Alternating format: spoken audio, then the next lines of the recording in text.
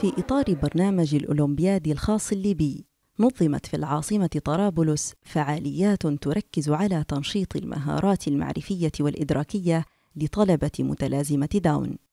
فعاليات تأتي ضمن خطة سنوية للأولمبياد الخاص الليبي والتي تهدف إلى إدماج هذه الفئة في الممارسة الرياضية والمجتمع بشكل أوسع.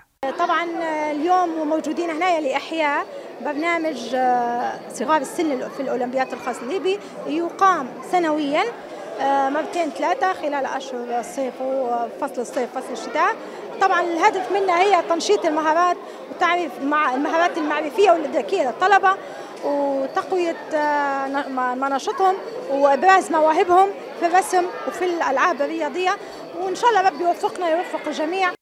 شارك في هذه الفعاليات العديد من المدارس والمراكز المعنية برعاية ذوي الاحتياجات الخاصة في ليبيا.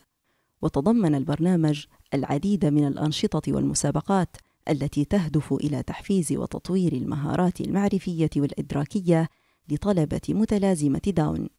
كما تعكس جهود المنظمين لتمكين هذه الفئة وإبراز قدراتهم ومهاراتهم وإتاحة المجال لهم للمشاركة والإسهام في المجتمع بفعالية. برنامج خاص لصغار السن الهدف منه هو تهيئة هذا الصغار لممارسة الرياضة أو لإدماجهم في الجانب الرياضي مستقبلا بإذن الله.